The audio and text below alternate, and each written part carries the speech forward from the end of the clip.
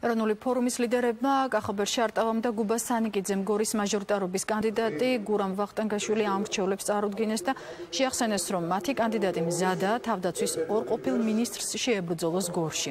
ეროვნული ფორუმის ლიდერებმა ცხინვალიდან დევნილ მოსახლეობასაც მიმართეს და საარჩევნო პროგრამის ის ნაწილი გააცნეს, რომელიც ტერიტორიულ თლიგამთლიანებას ითვალისწინებს.